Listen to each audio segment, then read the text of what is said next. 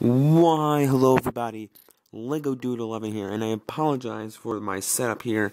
As you can see, this is my background I have that I use to record videos, and as of now, it's working okay. It was working well for some videos, but this one isn't the best. Some of my set reviews are going to be weird like this, because you're going to see the back of, or the edges of my wall, which is not okay, which is not bad, but regardless, today we're taking a look at set number. I forget the set number. Um, I don't really care about the set number, but um, today is the Mandalorian set review, and this comes with four minifigures and retails for I think fifty bucks in the United States. I'm not entirely sure about Canadian prices at the moment, just because I'm not. I don't live in Canada, and that's not really my concern. So, if you guys uh, in the near future of doing these set reviews, I would like to, um, like if I live on my own and like get better at YouTube and whatnot, I would like to figure out like the prices and to tell you guys that. But right now, I just like to review the set and show you guys the actual detail and whatnot. So today we're going to take a look at the Mandalorian set. We're going to take a look at the minifigs first, as usual, and then the actual build. So this is one of my favorite um, Star Wars sets ever. Um, Probably, well, just because I like the Mandalorian show in general. So let's get to work and let's get to the minifigs. So up first is this first guy. Uh, I think this is like called like the Matachlorian or Cladachlorian uh, warrior or soldier um, or like goon or something and along those lines and uh, he's very cool so basically what i did i think both of them have the same outfit no this guy this guy is the outfit that i use for uh, the Ugnaught guy. Uh, so in the future, after this set review, or I think uh, in a couple videos after this one, you'll see my how to build the uh, Kui, like Kui or Kuel from the Mandalorian, however you say his name, Kuel, um, from the Mandalorian, the Ugnaught. So that's pretty cool. He comes with these two little guns here, and he comes with this helmet piece, and then he has the same type of shoulder pad used for the Outriders from uh, Infinity War slash Endgame and sets, and he has this cool printed head. He has nothing on the back there, but it, it doesn't really matter because if you put the helmet on, it kind of covers up the back of the head there. So that's cool. He has this cool strap there, nothing on the back of the legs, but stuff on the front of the legs. It's the same um, printed as the other guy and then the torso is a little bit different than, than, the other one. So I'll show you the other guy now. I'll just put him back up there where he goes in the ATST. By the way, guys, the name of the set is the ATST Raider. Uh, I did not mention that, but now this guy, the other Cladicor Cladicorian uh, soldier or warrior, has this gun here with a little brown lightsaber uh, handle on the end. And this guy comes with the same exact head print, same exact leg print. Uh, the back is a little bit different uh, the torso is all different than the other guy, but uh, the he has the Ultron, Ultron Prime head, uh, uh, like neck piece, neck attachment. So I think I find that cool that uh, it's uh used using a different using a neck attachment in a different way. So that's the same. That's the only thing different about him. The torso is different, the neck attachment's different, and the gun as as well. So uh, next up, we're going to take a look at the uh, awesome female um, acquaintance of the Mandalorian TV show, and her name is Cara Dune, and she's actually quite. I wouldn't. I don't know if I would consider her a badass, but she is a quite a uh, accessible um, character to the team. Uh, I guess an asset to the team as well, and I can't wait to see how her character is portrayed in season two. But uh, we get uh, this nice rifle gun and a gray lightsaber piece added to the end, and then she she has this the I think this hair kind of works well. I don't know if there would be a better one to use in the show, but I think this one works really well for Cara Dune. She has this face expression where she's smiling, and I think a second one, right? Yeah, that's what I thought. So she has a second one right there where she's kind of like angry or peeved or something, and then push the hair down. She has this exclusive torso print as well as exclusive leg print, which I really find that quite uh, accurate to the show, I think, and then some back printing as well. So I, I, find that really cool. I love that character, Cara Dune, and in real life it looks sweet. Next up, we're going to take a look at the Mandalorian himself, and I'm really disappointed with no face print, but you know what you're you going to do? and uh, we may get a face print in uh, season two sets or season or the I'm saying the next wave of Mandalorian sets because there's only been one set so far.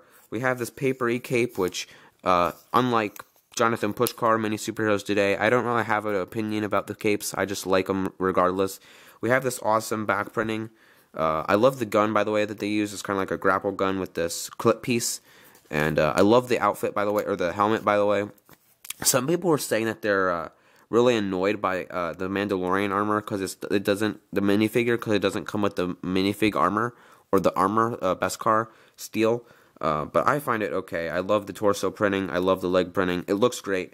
Uh, this was one of my favorite. This was one of my top ten minifigs of 2019. So go check out the post on Instagram. If you if you're not following me there, why aren't you? Uh, a lot of good stuff on there. Um, so uh, yeah, go check that out. Uh, the top, the one of my posts, uh, I think like the third most recent post or something was, maybe not third, but like the fifth one was uh, recently was uh, my top ten favorite characters of 2019, Lego minifigures of 2019. So now we're gonna take a look at the build of the set. Here we're gonna take a look at the ATST Raider or the ATST. Let's take the minifig out that's up here. It's the one Claddicorian guy. So So this thing's pretty cool. Um, I don't know how I'm going to really review this, but uh, we'll see. Cause here we go. So nuts. That's not good. Where did this go? This goes right here, I think. Is that where it goes? Uh, I don't know where this went.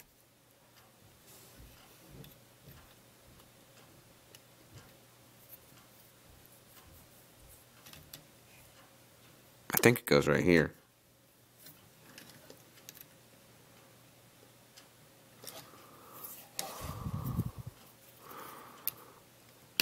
There we go.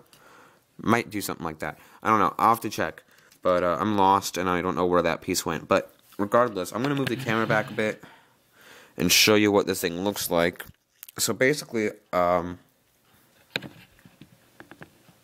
I'm just going to show you. So basically you have this right here. This can open up. And this open this top opens up here. And what you get inside is I'm sorry for the lighting, but uh, you get this little gun piece right there. And this seating arrangement right there. And then I thought this opens up, but I don't think it does. These pieces, uh, as you can see, this moves right here. These little missile pieces and this kind of moves I thought this could move but I don't think it does I don't think these I don't think these move and then this leg this leg is all red and this leg's all brown as you can see I think they move but I'm not entirely sure there's red missiles here um, there's a red missile right there and on the other side as well so you can shoot them out uh, right there. It's very wobbly too. That's one of my complaints about the set. There's a, a, red missile there and a red missile there. You just use them. You just shoot them out the side, so like right there. And then I don't really want to shoot them, but I could if I wanted to. Now let me see. Let me try. Yeah, no, it's not coming. But uh, so yeah, this leg was a little bit. One of the legs was tricky to put together, but I figured it out because like this this whole thing like right here was really confusing me. Like this part right here, but I finally figured it out. Um, I know I'm like trying to be an expert with Lego here, but um, so here's the back of it. Here's this little knob thing. There's some stickers right there.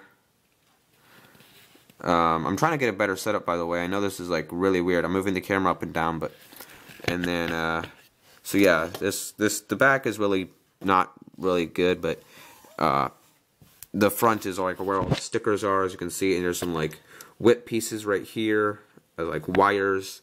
And then I think I like this better than the Rogue One. It's just really detailed and kind of like rusty looking. Um, I like the stickers right there. The sticker de designs are really cool.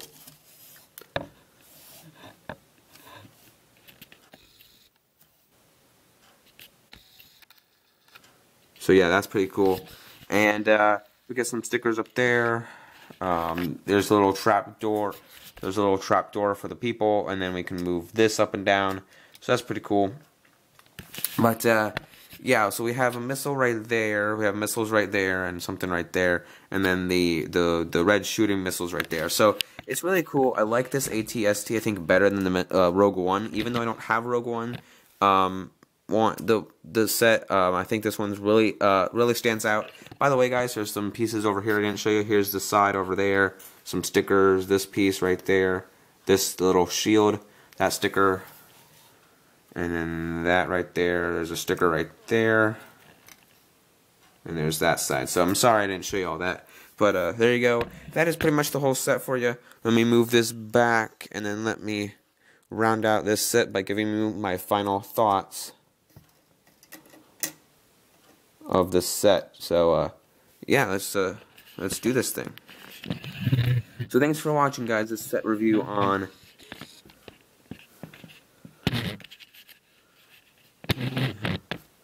This was the Mandalorian set ATST Raider, and I hope you guys did enjoy it. If you did, don't forget to hit that like button. Don't forget to subscribe to the channel Lego Dude 11 if you have not already. Don't forget to hit that like button. Subscribe to the channel Lego Dude 11, and don't forget to follow me on Instagram at Boba Fett Jedi Master. And don't forget to uh, head over to my Discord. Uh, Deep Sheep Bricks can uh, show you guys what that can tell you guys what that is in the comments below if Deep Sheep Bricks is watching this video.